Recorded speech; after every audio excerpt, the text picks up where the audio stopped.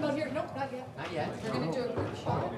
Yeah, everybody here. Ron, do not sit down. Sit. I'm not gonna be in your shot, so you guys come on out here.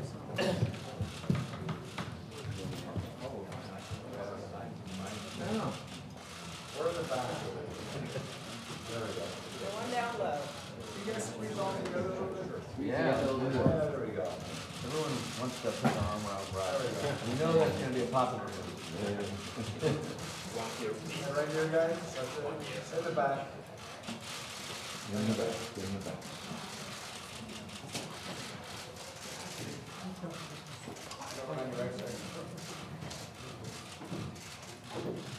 Okay, thanks so much, everybody.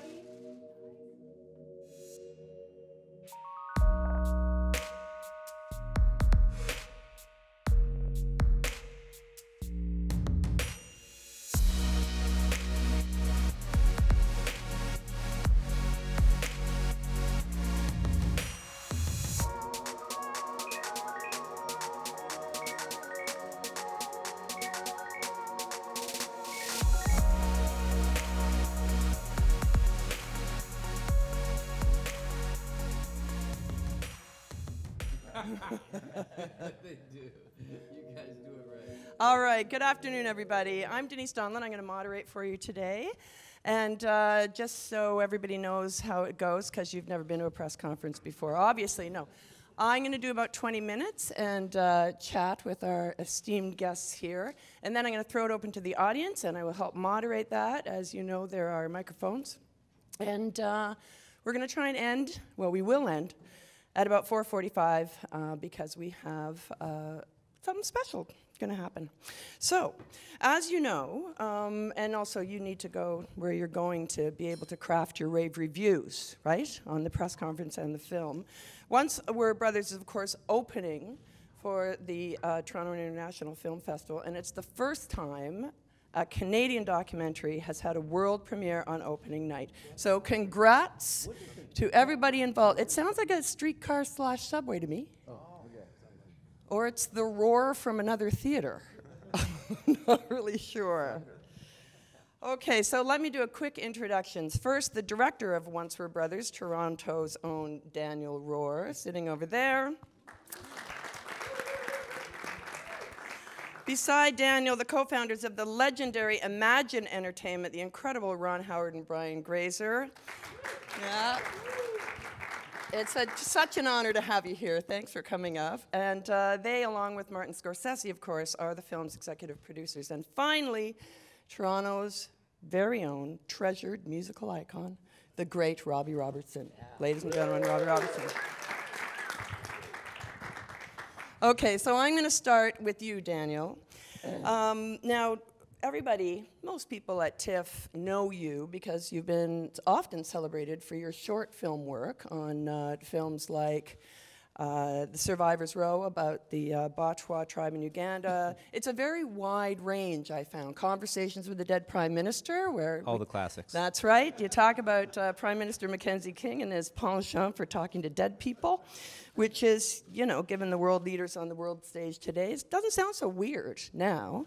And of course, Sourtoe, the story of the story cannibal, uh, a toe my own lips have touched, by the way. So, despite the Globe calling you this morning untrained, I have to say I winced on that on your behalf. Uh, there is a moment in anyone's creative life where you're called to make a big step, and this is your first feature film. So I'd like to ask you if there was any new creative muscles you were flexing in this film, and of course, given the legendary stature of your partners on the film, any pressure? Well, um, it's an excellent question, and uh, you know what was really unique about this project specifically is that it was a very archive-heavy documentary. Most of the film exists in the past, and so something that I didn't have a ton of experience with before is really delving into archives and uh, searching through, you know, storage lockers on the Upper West Side of New York or in Woodstock or in L.A. to find rare negatives or reels of film or, or any sort of ephemera uh, that we could use in the documentary, and, and uh, that was a, a really, really interesting experience for me because it's almost like you're an archaeologist going to uncover your film as opposed to inventing it in the edit suite or something like this. So uh, that was a, a, a lot of fun. And in terms of the pressure, you know, it's really amazing. I, I have this like legendary team surrounding me, these two gentlemen, these three gentlemen, and I really only felt empowered. It was only exciting and empowering to be working with, with these people, and it was very much validating my own in, instincts in a lot of ways, and, and everything that Imagine brought to the table, um, you know, just took my creative instincts and put it on a rocket ship, um, and uh, I guess went to the moon in this case, which is appropriate. Ah, Fantastic. Well, it shows in the film. I really, really enjoyed watching it. Robbie, making a documentary like this is, uh, I imagine, a, a pretty intimate undertaking, and you won't likely want a lot of trust with the people that you're working with. Why choose Daniel? How did this combination come about? Meh. I, I, there is there is something that that we go on on on our journeys and everything, and it's called a gut feeling. In so many cases, in so many creative endeavors, that you think, I know this is taking a shot, it's taking a risk maybe, um, but something tells you go forward and and you you feel something. It's it's quite mysterious in a way of you know what what trust you can have. But besides seeing Daniel's work and everything, and when I met him, I thought I recognize something here. I recognize other people that I've met over the years that had that certain spark, that certain something, and I thought, mm-hmm, I'm feeling this. And then there was a certain point that it struck me, because I said to him, you know, when we first met, I said, by the way, uh, how old are you? you know, and he said, 24.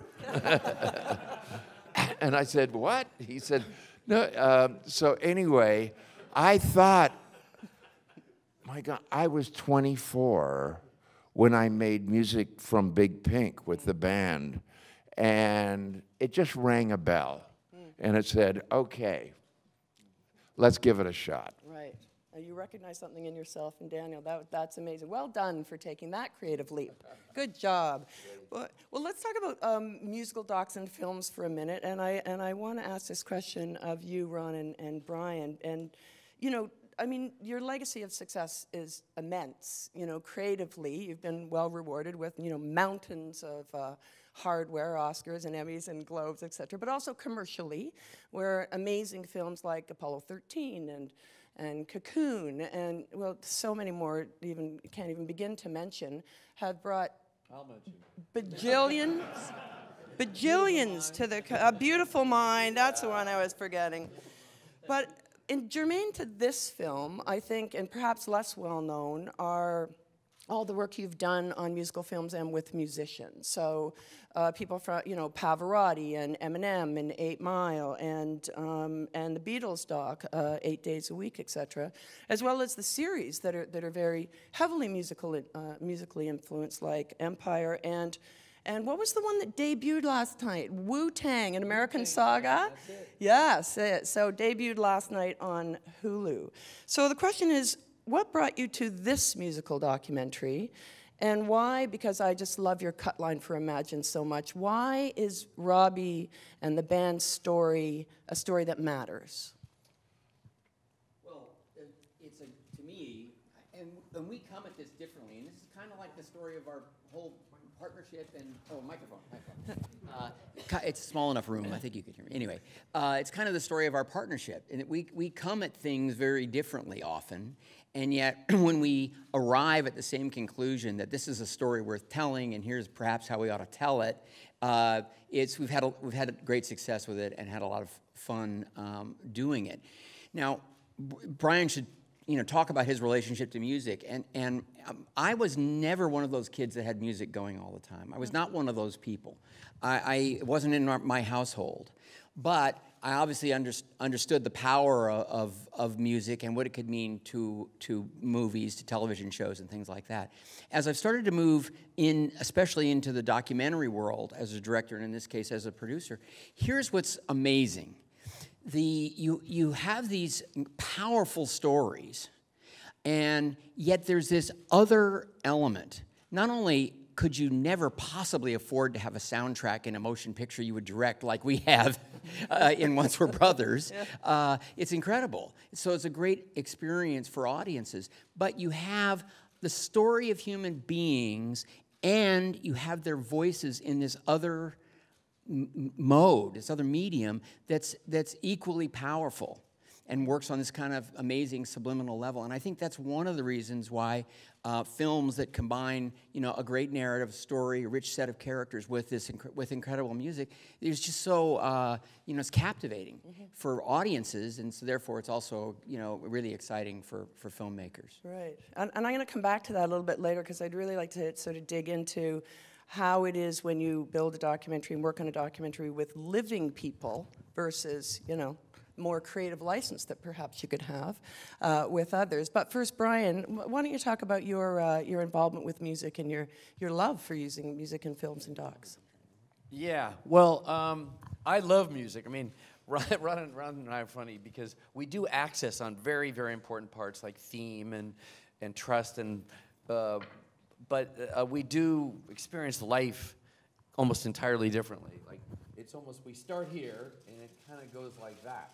So, um, so in the case of music, I was always listening to music. I was I mean, music. I'm avidly uh, listening to music, and uh, probably the first thing I well, our first movie, Night Shift, had tons of hit songs. Um, Boomerang had multiple platinum al- albums. Um, I produced The Doors, and I just had this thing about Jim Morrison when I was going to high school, and uh, so I, I'm very oriented, including you know, to music. But what I really get excited about, um, probably in the case of Eight Mile, will, will sort of tr- trigger that. Is um, somebody said to me, actually, um, I'd met ODB, Old Dirty Bastard, and so the, the editor of the New York Times said, I think that's an inferior subculture.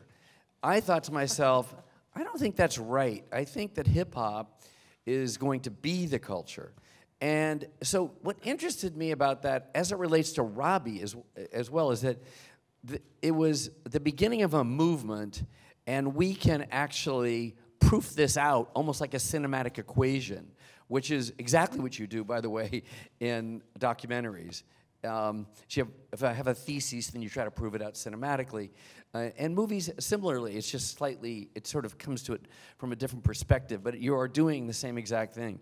So I, I thought that Robbie, I mean, for sure, Robbie and the band is the quintessential survival story for a, the, for a rock band. I mean, it is the quintessential story. It's called The Band for a reason.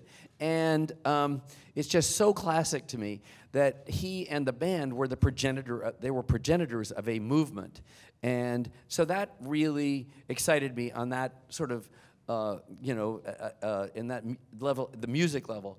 But our, um, Robbie has been a personal friend and someone I've known for a very long time, probably 20 years. I've known either Robbie or I've known of Robbie. He's always been a legend, all the time, with all the people that are in it, David Geffen and all those people that are supporting, uh, you know, Robbie's importance in the in the world of music. But it was always every time you have a conversation with Robbie, he has something incredibly interesting to say, um, incredibly unique stories that help inform not only what the band itself, but its relationship to music itself. And um, he, he's just a legendary person. And we would say, let's find a way to work together. And it- when Robbie says that, it happens. Right, right. and this is kind of evidence of that. and I, I know that Ron and I, and Marty's not here at the moment, but we're all gigantically proud of being able to be associated with Robbie and, and this movie. So- Well, it's a lot to be proud of. It really is, is quite wonderful. As a fan of the band myself, and also uh, just watching the way you knit together this narrative through it. I want to pick up on the word you just mentioned earlier, because survival. Because one thing that happens in the film is we go in, we get added extra layers of the last waltz, things we don't know from just from watching the film, or even from reading uh, Robbie's book, Testimony. There's extra layers in there, and the film is is emotional in a lot of ways because it digs deep into the idea of how you survive in a creative industry, particularly with the band. There's a lot of recklessness going on. There's heroin addiction. There's uh, car wrecks. There's alcoholism and, and all the rest of that. So you survived, though, Robbie. You're the survivor. Um, and in the film, others comment on why that's the case. Your commitment to craft, you no addictive gene. How would you s- describe your own survival skills? You know, it's, it, it's funny that in that program of people surviving with addiction, you know, there's a phrase in there that's so key. It's called one day at a time. And I just have very, very much thought of I'm going to get up today and I'm going to follow that dream and I'm going to accept these challenges and move forward move forward was the thing. And when I saw the effects, you know, it, you know, some years ago, we, we really didn't understand alcoholism and addiction like it's come, you know, it's become much more clear what that really is. Nobody referred to it back then the way they do to now. So today, today when I look back on it, I feel very sad that we didn't have the tools to be able to help one another in this group. we probably did everything that you're not supposed to do. Why, if you do that again, I'm gonna, you know, all that kind of stuff. There was, there, there wasn't a support system, and so, you know, I, I carry a bit of sadness about that because I've lost, you know, three of my brothers in this group, and and it just, although I am mo- motoring on, I am accepting the new challenges, and I've got so many things that I want to discover and and and get to in my work. Still, whenever I go to that place in my heart where I think I lost these guys, and and there was and I was helpless in it, and it- it, that was a it was a devastating feeling too. Yeah, I imagine. And, the, and you know, just on the survival theme too, because the band, they were all amazing survivors, uh, especially at the beginning, even backing up Dylan on that tour when you were getting stuff thrown at you and booed Talk about survival. Talk about survival. You're in a musical revolution. I heard you actually altered a guitar strap so that you could use it as a weapon if people jumped on the stage.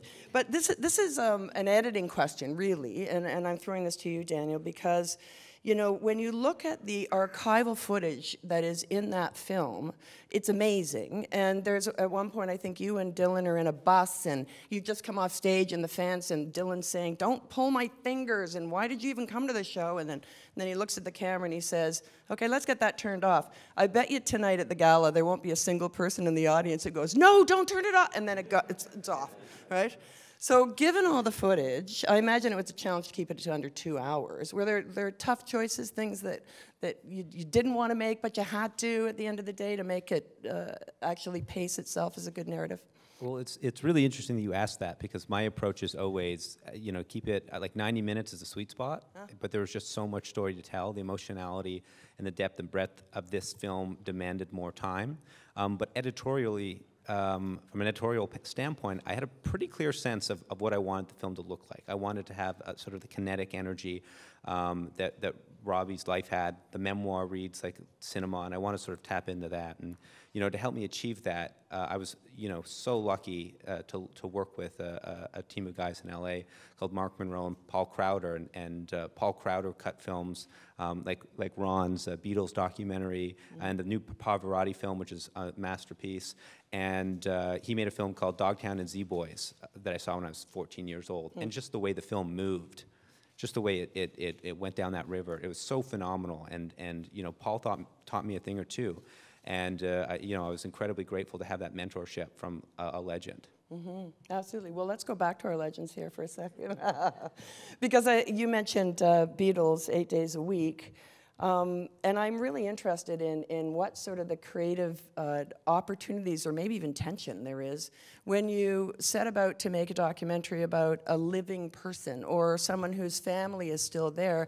I mean, I understand you had conversations with Paul McCartney even when you were making that. How does that relate to this film? Well, that was interesting, in, in, in as much as as um, uh, you know, I, I was allowed to have the final cut that I normally have when I'm directing, uh, and he and he said, uh, so I know I don't have any control over this, but the one thing that I would just suggest and is that looking at this time frame of just the touring years, and when I look at some of the pictures, um, John and I were really friends. We really loved each other. There's a lot that happened afterwards that scarred us both, and I still feel it today. But I recognize that when you're talking about this time period, that was that was a that was a difference, and it's sort of it's sort of been forgotten even by me a little bit. And I think this is a chance. So I thought that was just an interesting insight. Um, I think that you know we've done so many projects about you know scripted uh, projects, and often the people were, were still alive. And, and I think that at the end of the day, that you know, your obligation is to the story and the audience, sure, but you do know you're going to have to look this individual in the eye at some point. And if you've, if you've synthesized, if you've made a kind of a shortcut in in any way, you have to be able to really explain that you, you made it with integrity to support the narrative and some other truth. And so I think whether it's scripted or uh, you know, or, or whether, whether it's a straight documentary, you always you, you always want to be able to look yourself in the mirror, and you certainly want to be able to look your subject in the mirror or their or their survivors, Right. and you know, and feel that that you you got at the truth, but you still had to make something that was compelling, entertaining, and of course, it, it's editorial. I mean, I don't care if it's a if it's a piece of journalism or a, a scripted piece or a documentary. Of course, it's an opinion. It's a point of view. It's an expression. You know, uh, who knows what the truth you know Right. is? It's Your your, your it's your truth. sense of it, and that's what you, and that's what you're uh, sharing. But I have a question for you, actually, if you don't mind. I don't Uh, want to yes, take over. please. well, and because on this I had distance, I had some, you know, it was an exciting opportunity. It came our way. We were th- just thrilled. It was fascinating. Everything about it was go, go, go, yes, yes, yes. And then during the process, so I started observing various cuts and things like that. And you did a second interview. You had done one, and then you did another one. And it kind of blew all of us away and what it kind of added to the film and then the way you worked with it uh, uh, with Paul and, their- and company. And I then remembered that for we had actually done second interviews with both Ringo and with Paul. And, and at that time, we were just, they were supposed to be just short interviews to try to fill in some gaps. But the, for some reason, they were much more open and fluid. And, and, and, those interviews went on, and they wound up really transforming that film in a way that surprised us. So I kind of wanted to ask you both about what it is to come in and talk about your life once, and then think about it, and then come back and talk about it again, and what it meant to the movie. Yeah, a big part of that decision um, was helped by Justin Wilkes and Sarah Bernstein. They were encouraging us. They wanted, for all the work that we had done on the film, they wanted to raise the bar. And we wanted to raise the bar. So then it was really, it was really about at that period after White Pine Pictures and you know and Bell Media and all of the wonderful people that, that you know supported this and we were getting it off the ground. And then Justin and I we we had been talking about again doing something together for a long time. And then when they came when Justin said Imagine Entertainment is going to come in on, to this, and we want to just make this as good as it could be.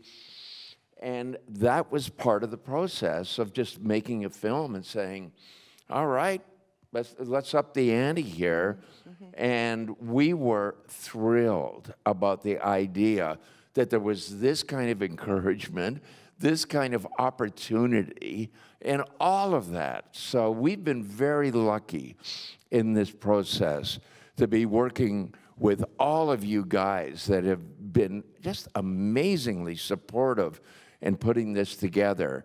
So each level, each person, each the ideas, the encouragement, all of that stuff is added up to what we're going to premiere tonight at the Toronto International Film Festival. Pretty cool. Yeah, amazingly cool. And thank you, Yeah. Justin and Sarah, too, for, you know, putting us together. And I hear there's, I mean, so literally with the partners, I mean, it was like this synergistic, uh, it's just wonderful that, you know, the Universal Music with the music and Imagine Entertainment and Crave and Bell Media and, and of course all the uh, tax credits and the envelopes because of how Canada supports its, uh, its film industry. Um, but I understand there's an announcement that's going to be made in terms of distribution outside of Canada. Brian, do you know something about that? It's a little, a little company called Magnolia. Oh, wait, Ron. Oh, Mike, here's the microphone. Magnolia is going to distribute the movie theatrically around the world. We're very excited for this collaboration and partnership, and we're announcing awesome. that today. Awesome. And I just what just so just on that because it's sort of a, an industry uh, question, and then I'm going to throw it over to, over to the audience. Do you, given that there are so many ways that Canadian um, artists and talent are supported here in the country, and it's it's kind of necessary because we're the mouse living next to the elephant with the big all of this creative creative content coming over the border. It, do you have a view on how Canada supports its film industry? Well, I do. Yeah. I mean, I have a, I have a view on, on on sort of any country culture that supports its artists. Um, and and you you you know you look to Europe and you sort of see the countries who, that have begun not supporting their their arts as they once did, and the ones who have continued that support. For example, Scandinavian countries or France, they do it. They care about it. Canada does it and uh, and, uh, to to uh, to a degree the UK does it. Ireland they do it, but Germany, Italy, you know, it's it's it's disappointing to work with these these artists and know what the struggle that they're going through uh, to try to to preserve their kind of their cultural identity, their aesthetic identity, and so I'm you know I think it's vitally important. I mean, the thing that I'd say, and I've made more than two movies here and done some television. I mean, and it's and it's something that you guys might even just take for granted, the, the Canadians here. But it, um, you're good people. I mean, the the thing is, is it's kind of a central. It's an element that is slight, somewhat of a central difference between uh, America and, and it's dangerous in Canada, but similar work ethics similar similar skill sets, but humility uh, humility as an element to a team is really really important. It can't be uh, it can't be understated. It's just when you because making a movie or documentary whatever it is, it's teams of hundreds of people, often more, and you you're getting people. You have to evangelize your reason for existing. Um, in the case of Robbie, since we're here for Robbie and, and the band movie, it's just like it's a worthy subject. You have to start with a worthy subject. And then, if you can make that case that it's a worthy subject, you can evangelize something that's amorphous and get hundreds of people to put their lives in, you know, aside and move it to the other and move to make a movie or television show, in this case, Robbie's. And, and, um, and you, when you have a team that's humble, and has the same level of work ethic and desire to win, it, it just works better. So you'll be doing more here in Canada then. Thank you. Very good. Okay, yes. Sir. Uh, hello, hello everyone. Juan Carlos Garcia from Mexico. This question is for you, Mr. Robertson. Uh, nowadays, we are living in the music industry this kind of uh, new distribution uh, music style with the reproduction on platforms, uh, the likes on social networks. What do you think of that? And which do you consider is the main difference in the music industry between the time when you started and the time that the music is living nowadays? You know, I think that there is always great work being done. I, I, I, I never lose faith that there will be people coming along making a great contribution. And music, there's a lot of stuff today that I, I just love. And, there, the biggest difference, though, for me between then and now, then the music that I was involved with, that I made, that I did with Bob Dylan, that I did with the band, we were in a generation that the music was the voice of that generation. Everybody, you know, gathered around that voice. And so you felt a responsibility to talk about something, to tell a story about something that had a deeper meaning to it.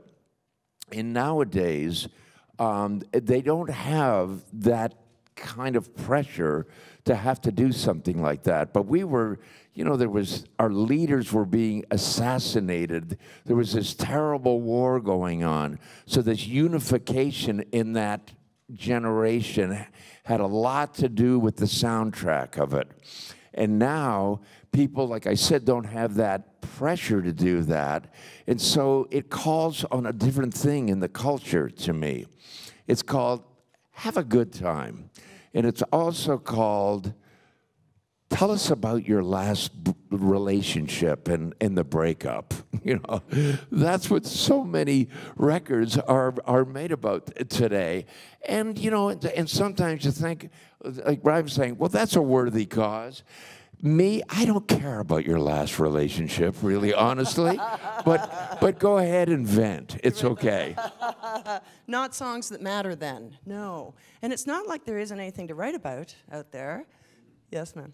Hello, everyone. Andrea Case, CTV News Toronto. Uh, for the two Torontonians on the stage in particular, what is it like to bring this film to Toronto? I know you've probably been working on it to the very last minute, Daniel, but what is it like to bring it to Toronto, and why did you want to bring it here, and how does it feel to be back? Robbie, starting.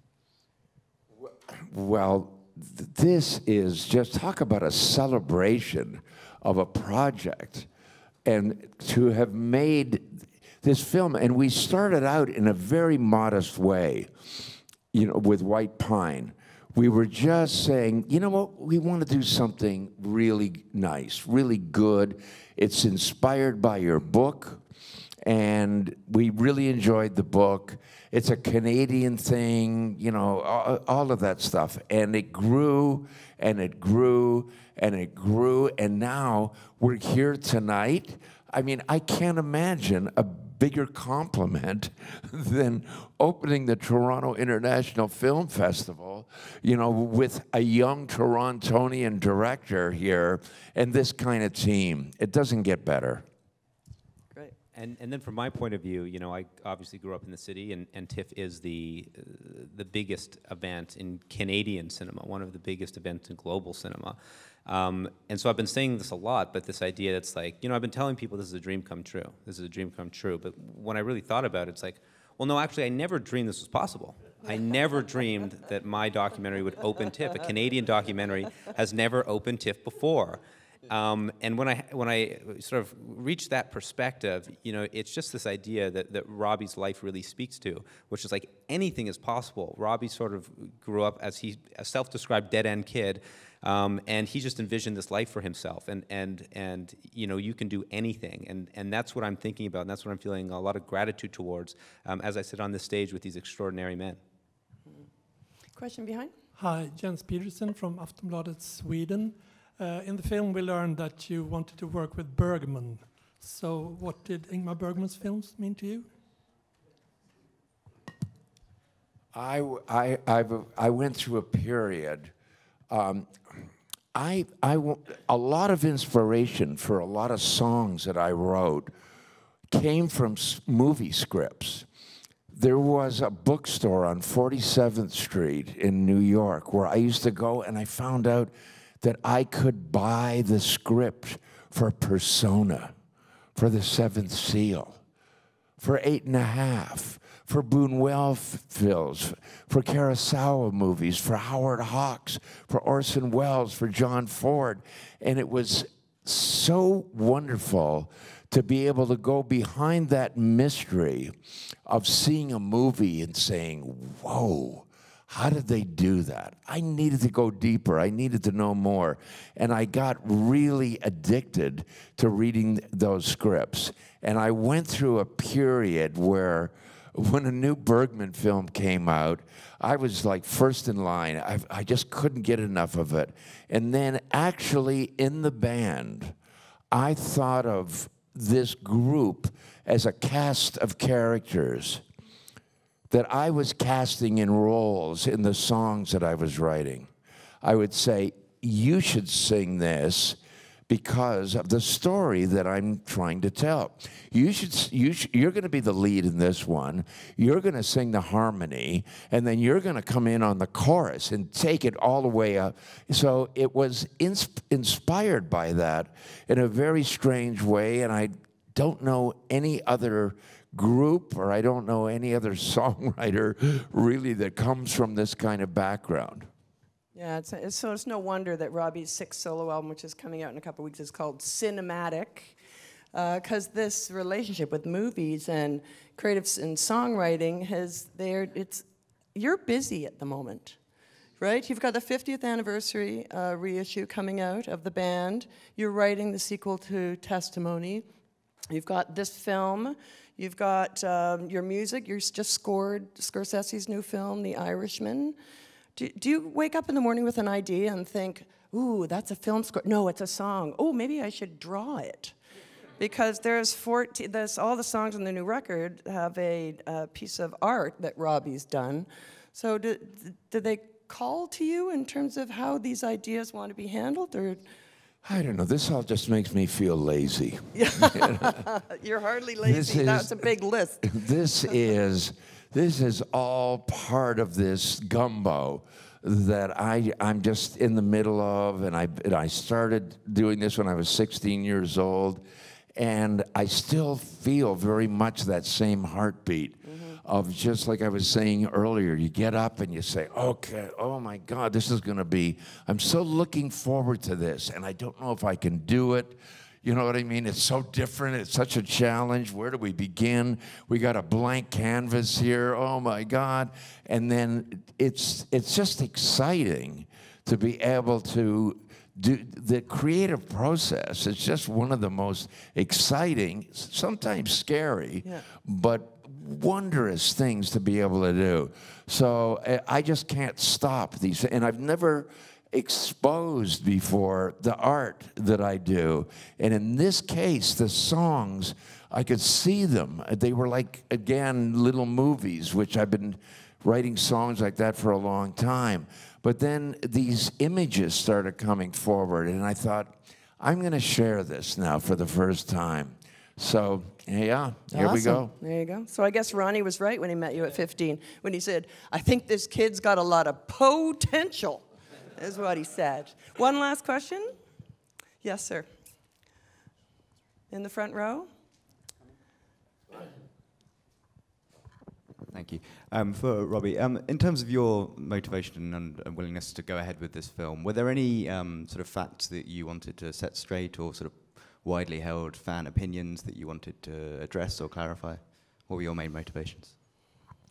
I don't know if we were, from, from my point of view, I didn't know whether we, we needed to set anything straight. But I think Daniel, you know, him just coming into this story because he was the one that said, I, you know, they asked him what he wanted to do next, and he said, Well, I'd like to make a documentary on Robbie's book. And I think from his reading of this book, what he was left with, I think he had some questions. And, and he did address this in, in this film. And I come, I'm, I'm on the inside, so I don't, I don't think about that too much. I'm really thinking about the next song that I have to write for cinematic. and, and, you know, it was his job to say, you know, let's bring this to the surface. This, this is important. And, you know, so anyway, you know, I, I would pass the baton to, to Daniel on that.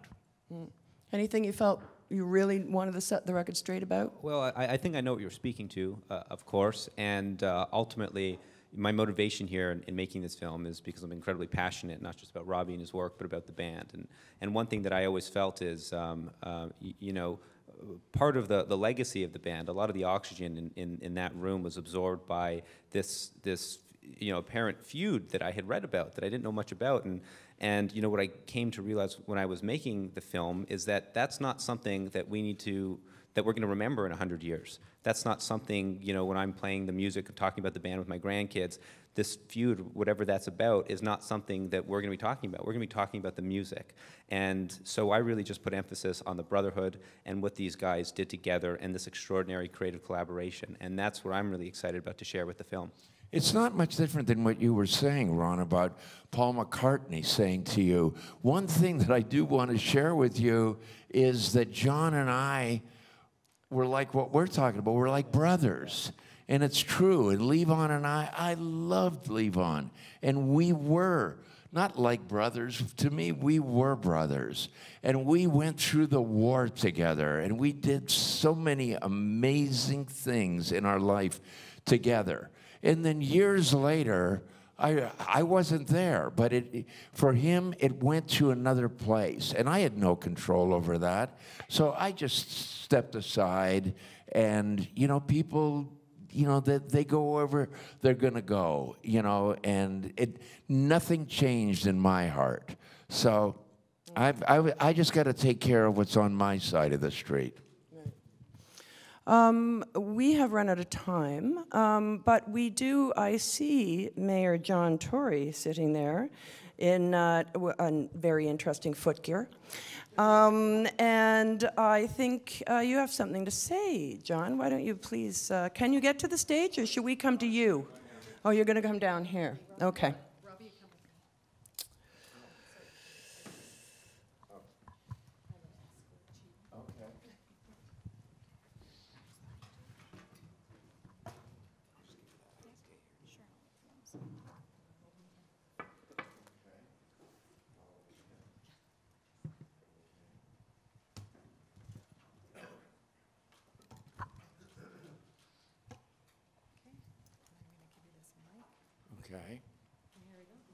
Right here. Um, am I under arrest?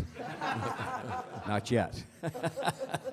Actually, when I go to Los Angeles to promote the film industry, I started giving out my business cards and saying it was a get out of jail free card. But then I realized I actually can't get anybody out of jail. But I did tell any of those people who might get into that situation I would come and visit them if they called the phone number on my card. May I, uh, first of all, say good afternoon to everybody, and, and especially good afternoon uh, to you. And it was so interesting for me to sit and listen to, uh, to you talk this afternoon and all of the people that helped make this uh, movie. Um, I have the honor of being able to present uh, the key to the city to people, and we've tried to uh, confine it to people who embody the spirit and the potential of our great city.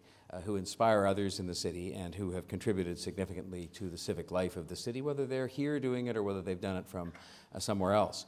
And in your case, um, there is no question but that your, um, your credentials in that regard are uh, beyond any that, uh, that have ever been, uh, have ever lay behind uh, the presentation of this before. Um, I believe, um, and, and this is something that I believe as a person and, and as the mayor, that uh, artists, uh, and in particular, I've tried to really throw my weight behind music and film, and, and, but all forms of the arts. I think they not only allow us to expose the soul of the city and to tell stories, which, as you know, we were talking about this a little bit on the phone today. Um, telling Canadian stories is sometimes challenging in light of the fact that we are the uh, mouse living next uh, to the elephant, and uh, you have uh, contributed immensely to our ability to do that. Um, and as well, um, we are, as you know, the most diverse city in the world, and it's a point of great pride for us.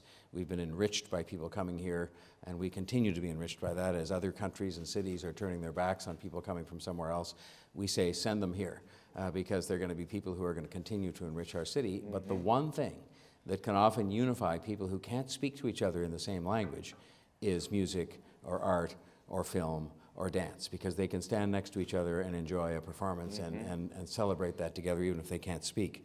And so, what I've chosen to do in, the, in having the privilege of presenting these keys to the city is to choose some of the people that have been pioneers uh, and people who have really set an example have perhaps done it, as we were discussing today, at a time when it was more of a struggle to do it. It's still a struggle uh, to, to achieve global preeminence as an artist uh, from a, a, smaller country like Canada, but uh, you did that at a time when I think it was even tougher uh, than it is today. Um, so if you look, I mean, you, at, at- at what else qualifies you from the standpoint of your connections to Toronto, you worked at the CNE. This is proof positive. For those who are, for those who are from out of town, it's the Canadian National Exhibition. You'd have to see it to understand what it is. He worked there, and that by itself, just by itself, qualifies you as a very genuine uh, Torontonian.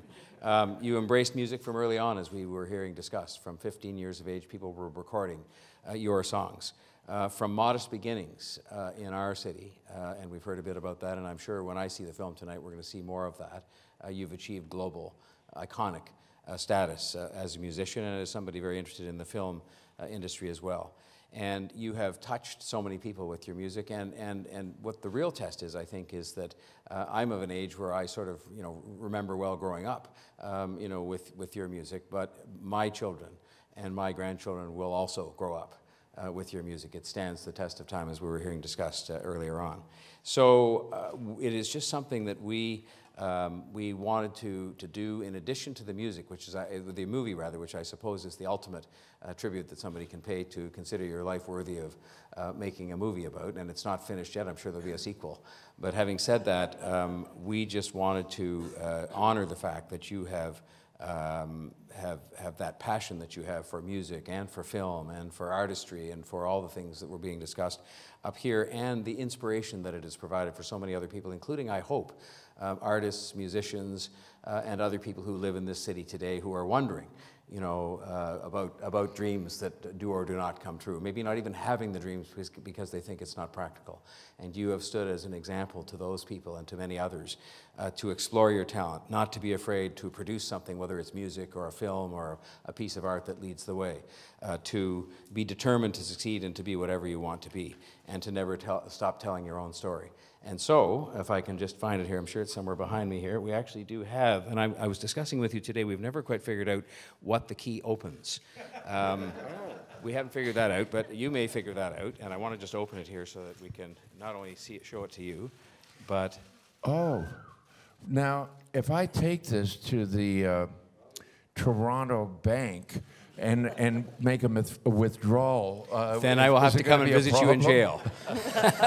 you can, I you, got the you can take my card in your pocket and call me and say, I've tried to open the bank with the key and it didn't work out so well. Would you please come and visit me? And I will, Oh. and I'll bring food. Well, this one's quite beautiful, guys. You know, and I, I'll stand out here so we can take, out. we can hold it, hold it up. There we are, so I can give that to you. There, we- there we are. Yeah.